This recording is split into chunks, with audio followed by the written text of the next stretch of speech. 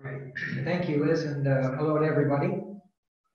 As I usually do with uh, uh, first part of my session when I uh, introduce myself, I point out that I'm a, and no disrespect to Liz, but I'm a Canadian and not an American. I know Kiwis are quite going a little nervous, going, well, I'm not quite sure who he is, or you know, I don't want to say they're American because Canadians get offended. We don't, but I'll put your, your mind at ease. I thought what I'd do is just, I guess, give you a, a bit of insight insofar as how did I even start to think about organizational alignment? Because it's not really a topic that a lot of us thought about in our day. And when I was at the National Business Review, I had the opportunity to engage with a lot of uh, high, uh, high profile people, but also different businesses throughout the country. And one of the things that I really saw, you got the wonderful organizations such as ATEED, Chamber of Commerce, NZTE, Business New Zealand, and all all these groups doing wonderful things in their own elements. But a lot of those things were actually could overlap. And there were some opportunities to really tackle some big initiatives or big problems in New Zealand from a business perspective. So I thought, I kept thinking, how do we align them up to actually work collaboratively to make some great stuff happen?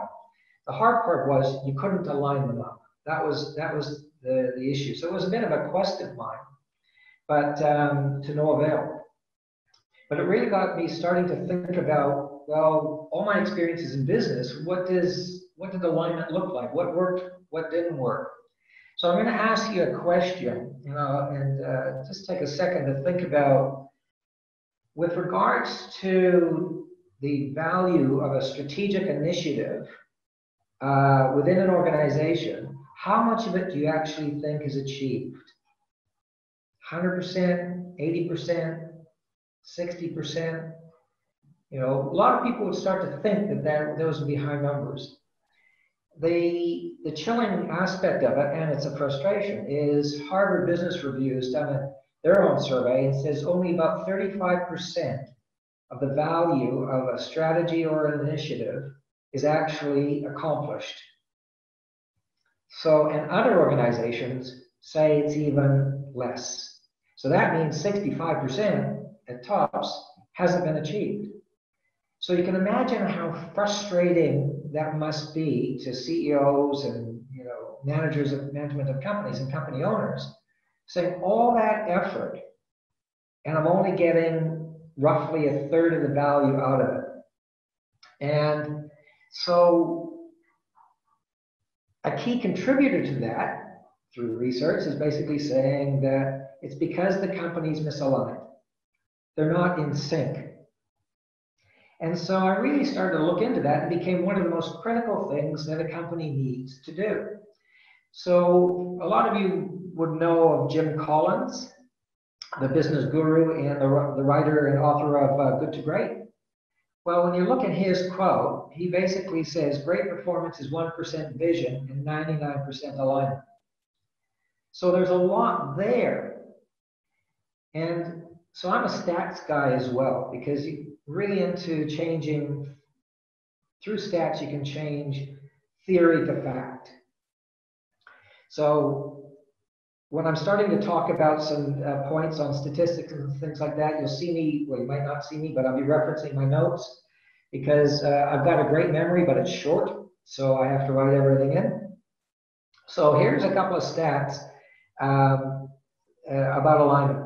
So companies that are highly aligned grow their revenue 58% faster and 72% and 72% more profitable versus companies that are misaligned. Big number. Customer retention is higher than by almost double, and the customer satisfaction is higher by three times. And employee engagement, which to me is one of the most important things, is 16 times higher in companies that are highly aligned versus the misaligned companies. And lots of times when we start to think about alignment, we think about a vertical piece. You look at the org chart and it kind of all goes down like that. You know, so it's north to south. But the reality is it's north to south, east to west as well. You have to have everything in alignment to actually totally optimize your opportunities. So I explained earlier that I've got a bit of a cold, so I'm going to be sipping some water. My wife wouldn't let me bring her the real medicine, which is scotch. So we start to talk about the effects of poor alignment. When companies aren't aligned very well, you have very, very poor employee engagement. And when you have that, that means people are coming to do their jobs at best. And then you also have, you'll end up having high staff turnover. You'll end up having silo mentality. People are just going to work on their patch because that's all they really know, but they're also going to defend it. So you're going to get that all happening. And as I mentioned before, you're going to have poor execution of the initiatives that um, you want to put into place. You have a high chance of people working on the same things, or you've got crossover, which incurs unnecessary costs and waste time.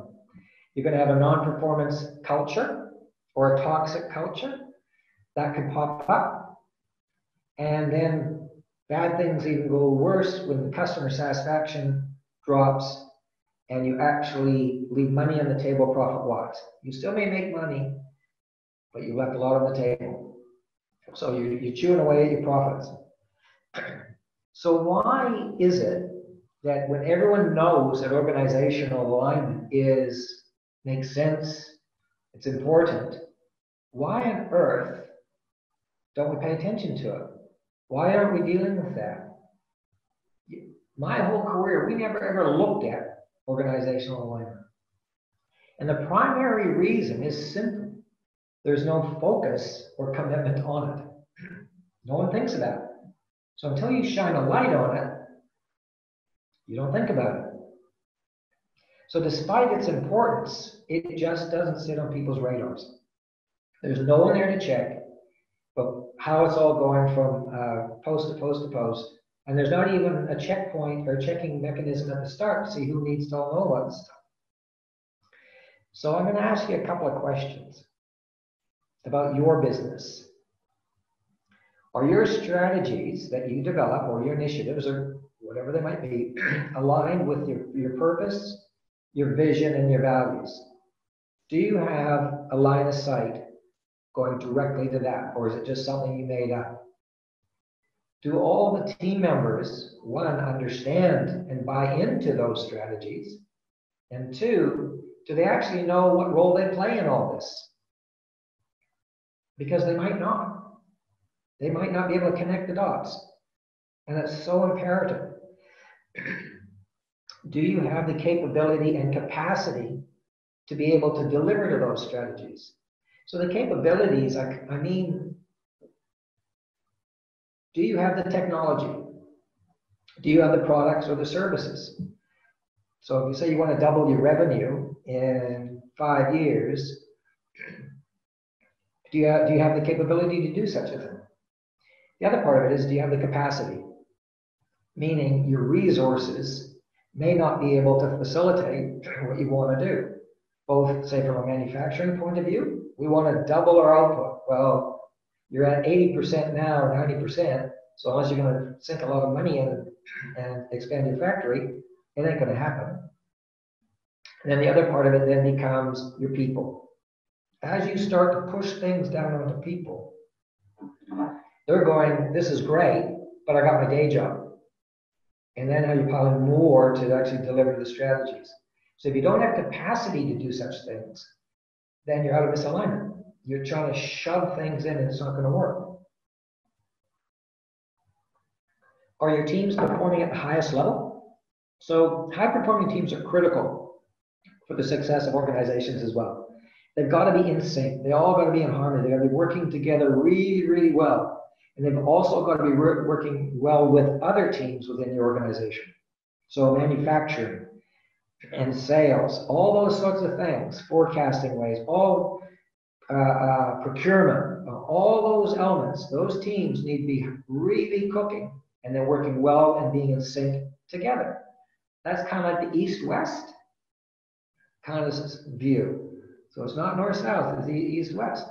Even your suppliers if you think about that, those teams, how are they dialed into what you're on to about? See, one of the classic ones that, that I've experienced whereby there was a, a manufacturing company who had their own freight trucks that would deliver to points. But once it got to the other regions, they would deliver them to secondhand delivery companies. Well, the, the customer centric ethos that the company had when they were delivering their products directly themselves was high. But they never got the third party who's going to deliver the stock to follow that same ethos. So now you have a misalignment. So those sorts of things are critical. The other part of it was is that you have the correct measuring system, measuring, monitoring, and feedback systems to actually get you there. You know, what are you measuring? You know, you're measuring the right things. So part of that's alignment. And is there a collaborative culture entrenched in your organization? Because invariably, it's so important for people to be collaborative to make things happen. Excuse me. You don't know if there's scotch in here or not, really, do you? So, so what does alignment bring? It brings clarity of the goals within an organization. So everyone knows where north is. They're all going in that direction. We get it now. Too many organizations are just, we don't really know what's going on over here, so we'll make it up. I'm going over here. Wilma's going here. Fred's going over there. Barney's over here. Betty's over here. You know, it's like it's all over the place. Also, too, is that what does success look like?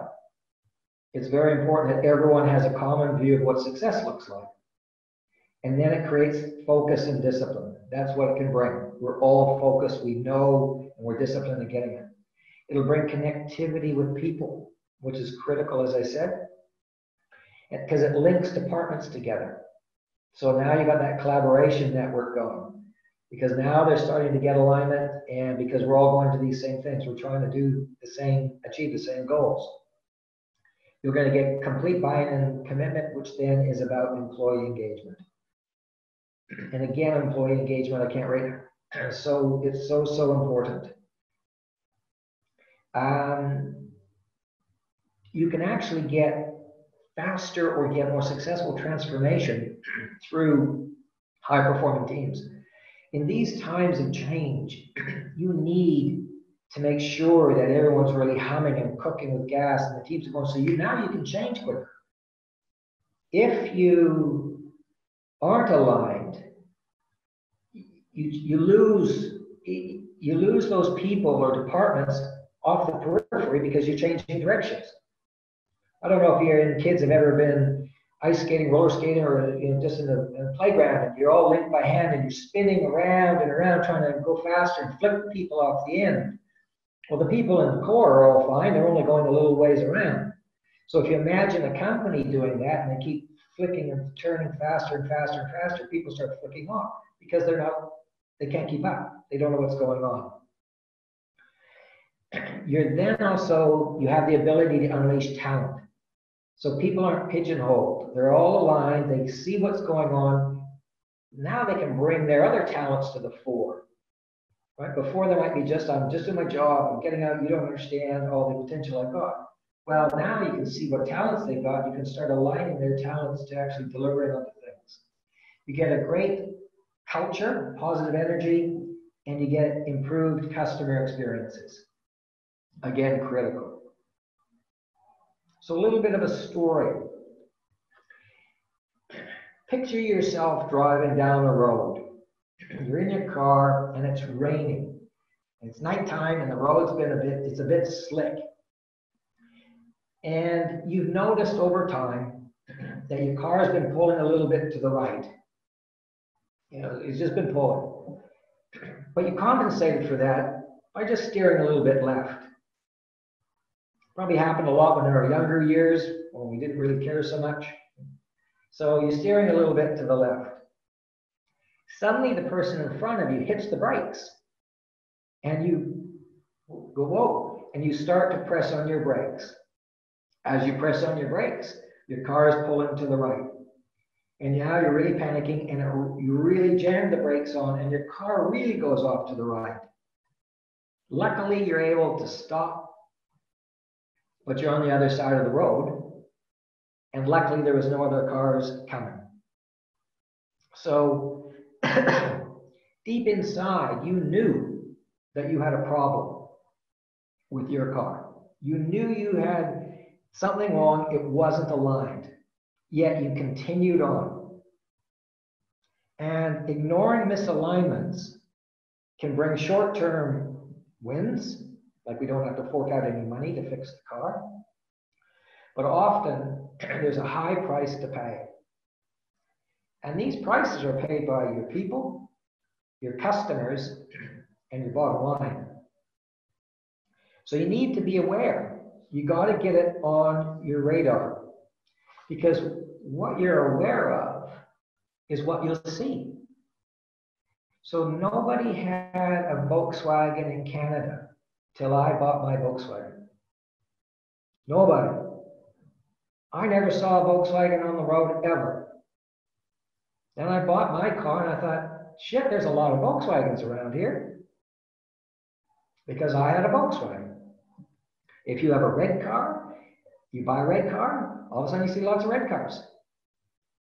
So it's kind of going, it's all about that focus, shining a light on what you need to achieve. And you remember I said earlier about alignment was that one of the key issues was it was not on anyone's radar. Ever. So if we start to look at what some of the warning signs might be, it might alert you to there was misalignment in the in the company. These sorts of things can pop up. There can be a bit, uh, there can be a lack of motivation or, or buzz within your organization. Everything's kind of a little flat, mundane. We're just doing what we need to do. We're not being proactive, we're reactive.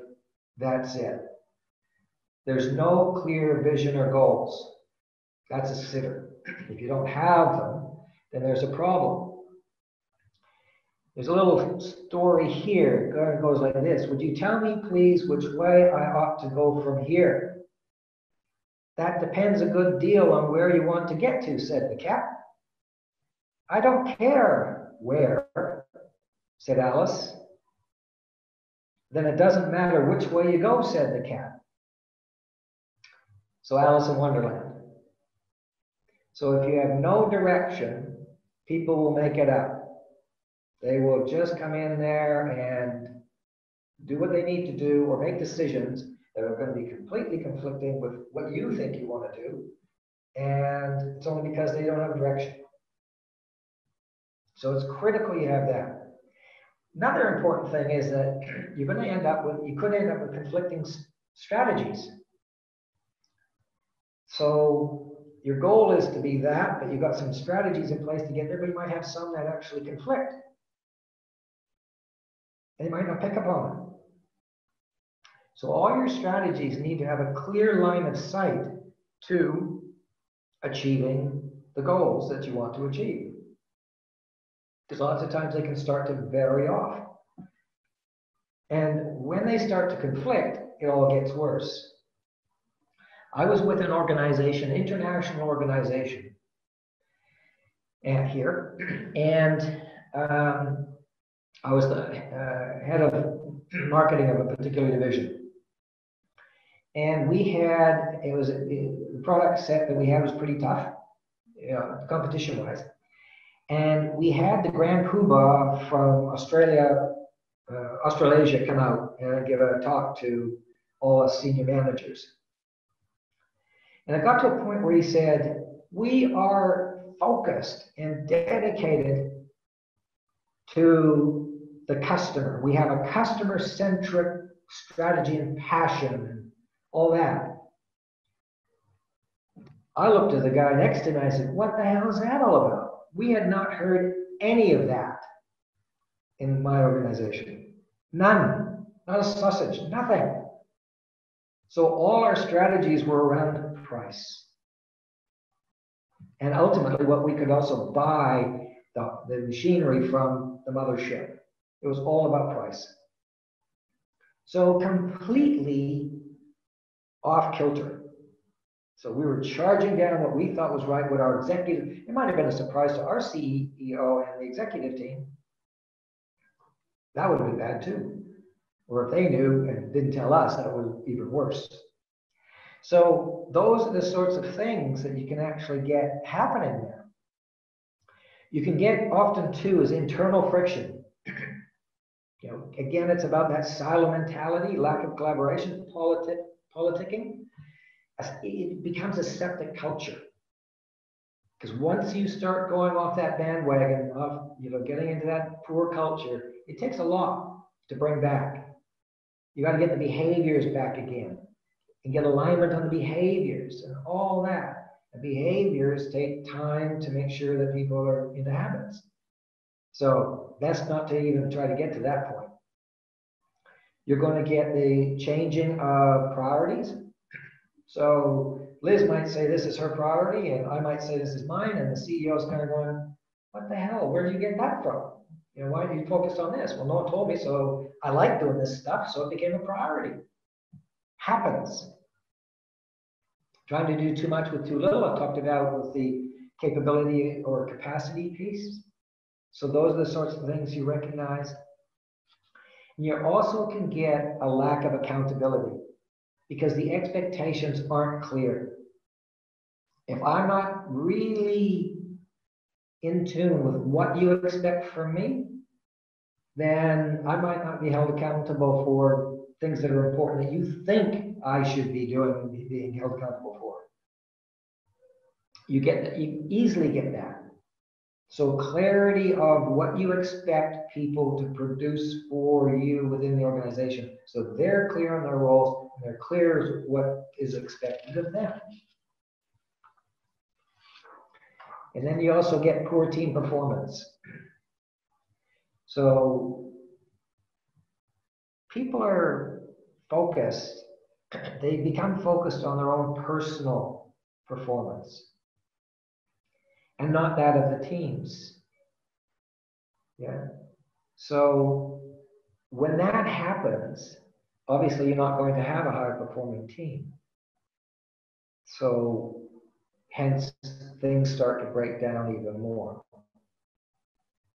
Because teams performing at the highest level, as I said, are essential. And it's only by having the common objectives is the way you can actually make everyone move forward. So when you do have these teams that are performing at a high level, or you get an energy that's almost magical, it just makes great things happen. So everyone's just dialed in, operating as a team, all pointing in the same direction, knowing who they need to collaborate with, and they can collaborate with integrity because they're they're trying to help the other team succeed as well. And that's a fostering of the behaviors of the organization. And it's actually quite amazing that if you don't outline the behaviors of an organization, you know, how we do things around here, it can, it, it, if you do have it, it pays dividends like the, the cows come home. So if you look at the All Blacks, they're very clear on what they want to achieve. They want to be world champions. And they'll do whatever they need to do to, to, to get there. Have great coaching, have great nutritionists, doctoring, medical stuff, fitness trainers, players that can all do that. So they're all now in a line. There's also all these things about the behaviors. So the purpose of the All Blacks is to leave the jersey in a better place. So the behaviors have to align to that of all the players. And then players also have to align their behaviors to making that team world champions. So players, there's probably a lot of good players that could play for the All Blacks, but their behaviors, they don't fit. They're misaligned, so they don't play for the All Blacks. So some of the ones whose behaviors have been I guess, a bit offside and then kept in the All Blacks. They've been pretty lucky. so the All Blacks are pretty good at coaching them and working through them. if you're on the fringe, you'll go. So don't underestimate the power of having your behaviors clearly outlined within the organization and saying, this is the way we do things around here.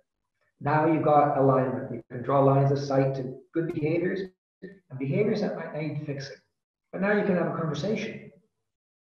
Because before it's like, don't do that. Well, tell me what I did wrong. So now you can start to get alignment on that. So now you've got vision, purpose, and goals up here, strategies that are tied in. People are all understanding what the roles and responsibilities are. Now you get an alignment. That's critical. Because of the things, if you think about it, when you get misalignment, there's a ripple effect. They're generally not one instance. So for me, for instance, I, I, I run a little bit. I have about six comebacks a year. So um, it can tell you how long I, I don't run for. So naturally, I think I'm 21, so you go out running, and next thing you know, your hamstring starts to pull a little bit. And you go, damn, then it goes. okay. So now you start to walk with a limp. And you're walking, and so I think I'll overcompensate, and I'll overcompensate on the other legs. Now you're walking, and you're walking with a limp, and now the other leg's taking more pressure. And now, now what happens is, is that my left hip starts to hurt. And I go, damn, my left hip's now going, and my right hamstring's going, my left knees is coming apart. And then from the hip, it goes to the back. And then it goes, oh, geez, what the heck's going on? I'm getting this, it's age, it's age. And then next thing you know, your neck goes up because your back's out, because your hip's out, and because your left leg's out. And then it all started with the right hand hamstring going. So there's always a knock on effect as you start to go. So what you think might be something small going on in the business, a misalignment, think about what it impacts going down. Here's a classic one, probably a common one, is that if you have somebody in the organization that is a good performer, but is a troublemaker, doesn't play the game by the rules, goes against all the behaviors, but you compensate for them. They're a top salesperson. If I got rid of them, uh, my sales are going. But they're toxic. The ripple effect from that becomes everybody sees that you're allowing poor behavior to occur. So why wouldn't someone else have poor behavior and then someone else? Why doesn't that go on? I learned that as my first sales manager's job. That's exactly what happened. And ultimately, it was really hard to rein everybody in. And by the time I was able to get rid of that person who stood in front of me and said that they had sinned and you know they'd been doing stuff, they would turn they turned out they weren't as good as everyone thought because they had some poor things that they were also doing. However, the ripple effect throughout the my whole group was he's getting away with it, why can't I? Or I'll, I can do something else because that's there's no repercussions. So it'll you'll pay. And it sounds like I work for a lot of poor organizations, but I got another story about a major organization, or another one I worked for here, Australia, uh, New Zealand company, big, big organization. We were the small guys. And I had gone to Australia. I was meeting uh, one of the uh, one of the vice presidents or something like that. And he goes, I want to learn about how slick you guys are. What makes you successful? you know, this sort of thing. You know, what's, what all goes on so we can bring it back to New Zealand. And I said, how do you work so well? And he said, we don't. The vice presidents of each division within the organization, their number one goal was to screw the other vice presidents up.